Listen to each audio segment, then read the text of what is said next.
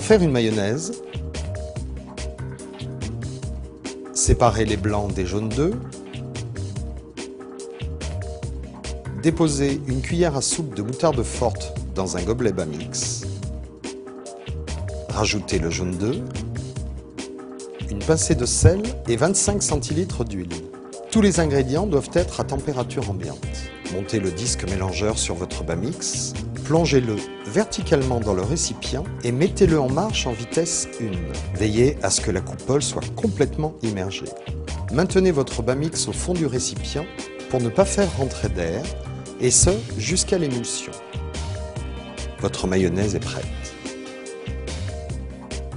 Réalisez facilement des blancs en neige et de succulentes meringues.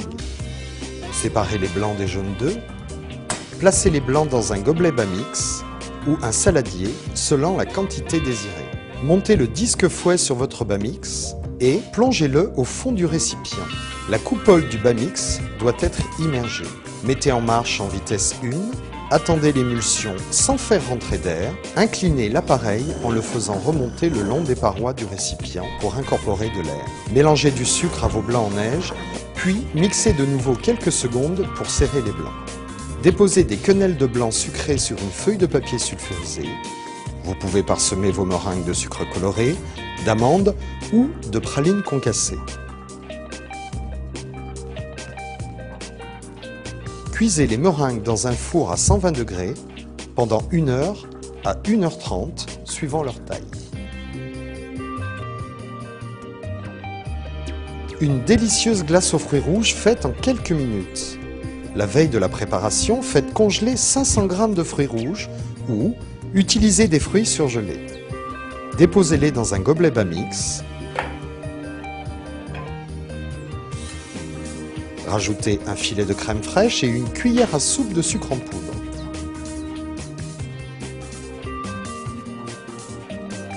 Montez le couteau étoile sur votre bas mix et plongez-le dans le récipient. Mixez en vitesse 2 en tournant et en appuyant sur les fruits. Votre glace est prête.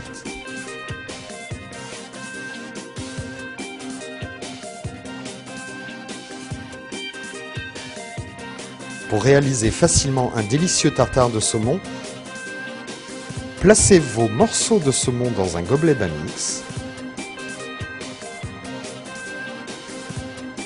Ajoutez un peu d'huile d'olive, des épices, une échalote et montez le couteau hachoir sur votre bas mix. Plongez l'appareil dans le récipient et mixez la préparation en vitesse 1 en appuyant et en tournant le bas mix. Mixez jusqu'à obtenir la consistance désirée.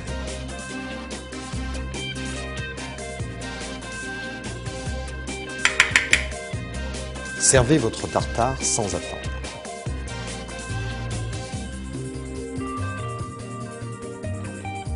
Aucun autre appareil ne permet d'obtenir des carottes râpées aussi fines. Épluchez vos carottes, placez la râpe numéro 1 sur la platine du slice aussi. Fermez l'appareil puis enclenchez votre bas mix sur le slice aussi. Faites tourner votre bas mix en vitesse 2, puis incorporez les carottes dans la goulotte du slice aussi. Il ne vous reste plus qu'à savourer vos crudités.